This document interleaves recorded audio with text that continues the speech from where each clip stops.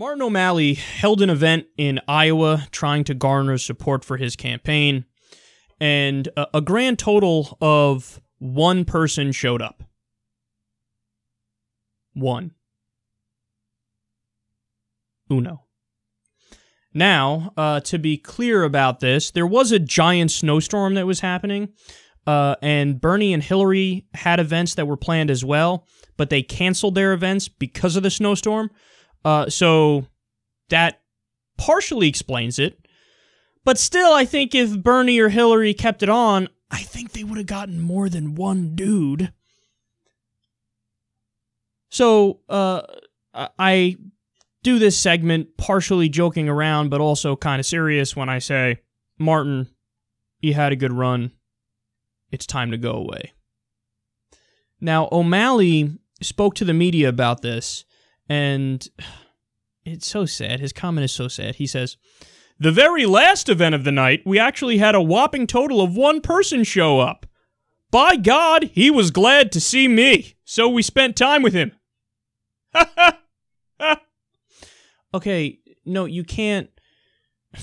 when something that sad happens, you don't get to go out there and put on your fake, cheesy, corny politician bravado and like plastic man that he is and just be like, but by golly gosh, gee whiz, Papa, he was really happy to see me.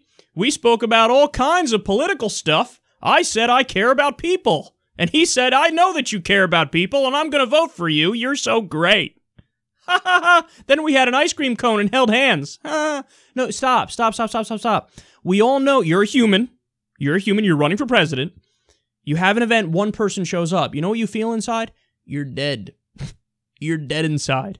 I would be mortified.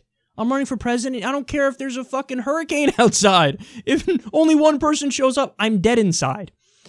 I'm on the verge of tears. My inner little child wants to come out. I'm like, nobody likes me.